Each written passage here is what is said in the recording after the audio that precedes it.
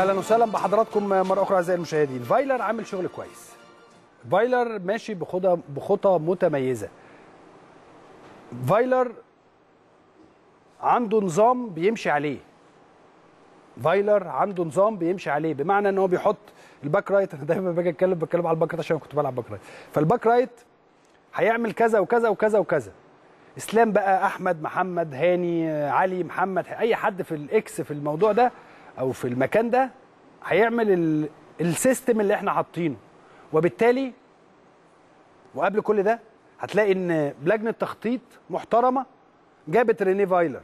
في ظهرهم مجلس إدارة محترم واقف في ظهر لجنة التخطيط وطبعا كابتن محمود الخطيب مع لجنة التخطيط هو بيشرف المشرف العام على كرة القدم. وبالتالي. بصوا المنظومة. أنا بس بتكلم على ليه بقول كده. مجلس إدارة محترم.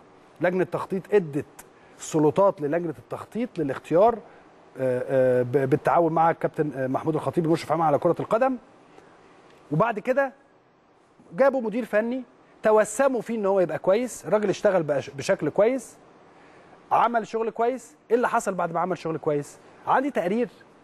أنا مش هتكلم عن اللي حصل ولكن أنا عندي تقرير هو اللي هيتكلم عن أهم الأرقام لرينيه فايلر مع النادي الأهلي. حتى هذه اللحظة اللي جاي إيه هنشوف. ولكن حتى هذه اللحظة ارقام مميزه لفايلر من خلال هذا التقرير.